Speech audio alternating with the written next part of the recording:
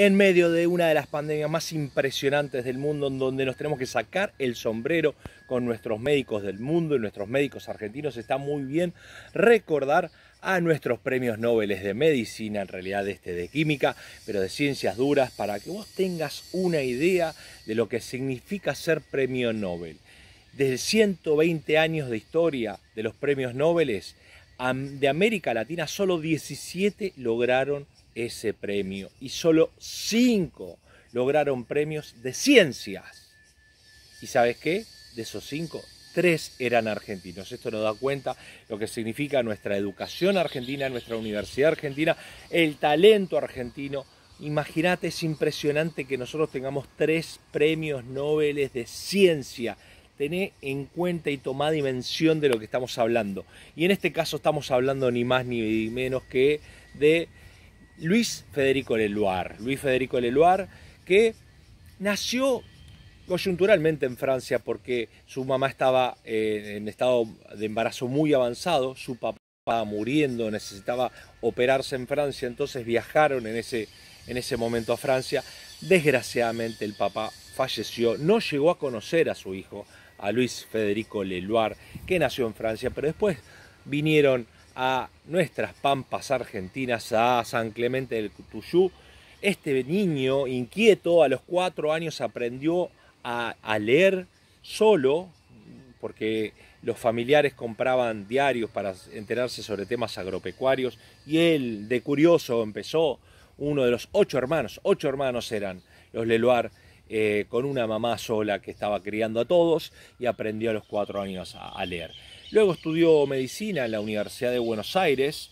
A los poco, al poco tiempo eh, conoce a Hussein, que ya podés ver el otro video, es otro de los premios Nobel, también de una manera sumamente fortuita. Victoria Ocampo los presenta, una gran escritora, y a partir de ese momento el vínculo Leluar y Hussein va a ser impresionante.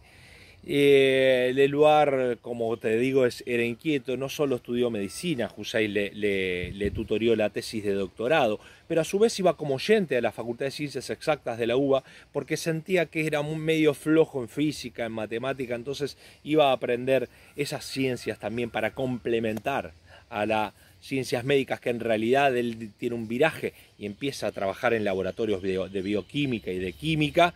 Eh, y como esos hechos de la Argentina, eh, deja su cargo en el año 1943 en la Universidad de Buenos Aires en solidaridad a Hussein, porque mirá el video, pero te contaba que Hussein había firmado un comunicado en contra del nazismo en el año 1943, entonces es echado. ¿Por qué? Bueno, por gran parte de la o una parte importante de la dirigencia de, de 1943 y de algunos años más, van a estar un poquito cercanos al, nazismo y entonces lo echan y Federico Leluar eh, lo que hace es, renunciar en, solidaridad a, a, Así que empieza a trabajar el tema de los eh, nucleóticos, es decir, del azúcar y el, rol que cumple la fabricación de hidratos de carbono en nuestro cuerpo y cómo se van retroalimentando. Y lo que, eh, lo que descubre es cómo las glucosas se juntan entre ellas para generar energía.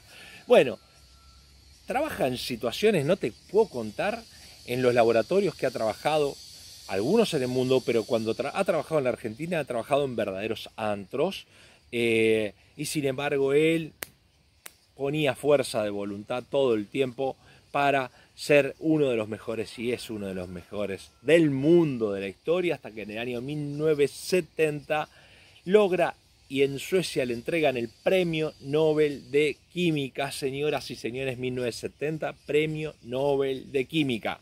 También esto nos habla mucho de los argentinos, de nuestra educación pública, de la calidad educativa que tenemos, de los talentos argentinos que tenemos, pero también te cuento una pequeña anécdota. Al poco tiempo que nada, casi al, mismo tiempo que, que eh, recibía el premio Nobel de Química, Monzón recibía el primer título mundial de boxeo y a que no sabes de qué hablaban los medios.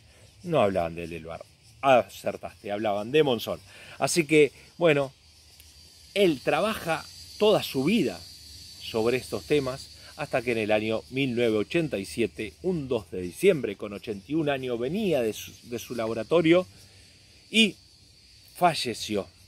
eh, Luis Federico Leluar entonces se convierte en tres, uno de los tres premios Nobel de Ciencia que tenemos en Argentina y uno de los cinco premios Nobel argentinos de los cuales nos sentimos recontra orgullosos, por eso hoy te lo comento en medio de una pandemia, de alguna manera, para celebrar lo geniales que son nuestros médicos argentinos y hoy están poniendo toda la carne en el asador. Nos vemos en la próxima.